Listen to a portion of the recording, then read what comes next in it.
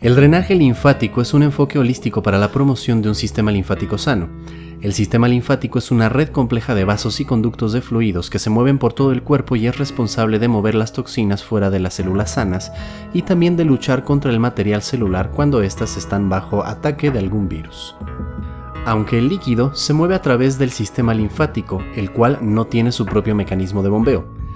El drenaje linfático es un tipo de terapia que se destina a ayudar al cuerpo a producir un sistema linfático que fluye libremente.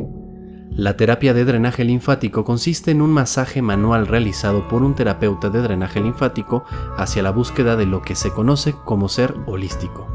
Un masaje de drenaje linfático se centra principalmente en los ganglios linfáticos y los puntos específicos del cuerpo, así como el fluido natural del sistema linfático. Por otra parte, los defensores del drenaje linfático creen que el proceso reduce notablemente las obstrucciones del sistema linfático y que a su vez promueve un cuerpo más sano sin toxinas y elementos contaminantes.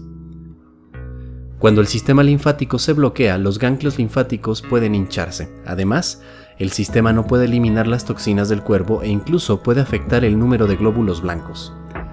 El drenaje linfático se usa para combatir y reducir dicho bloqueo, por lo cual promueve la salud en el sistema linfático, así como otros sistemas corporales como el sistema circulatorio, respiratorio, muscular y endocrino. Algunos terapeutas creen que la terapia de drenaje linfático también puede reducir las alergias, los dolores menstruales, resfríos y otros tipos de virus.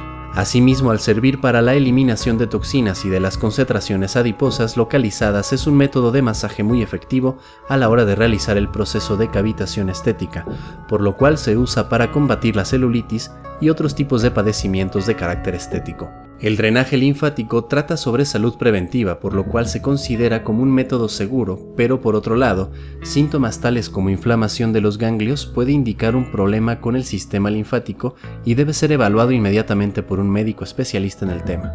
Además de la terapia del drenaje linfático, existen investigaciones que indican que hay medidas adicionales para personas que desean promover el sistema linfático para que fluya libremente. Algunas de estas medidas incluyen cosas tan simples como evitar la ropa interior muy ajustada como sostenes, interiores y medias.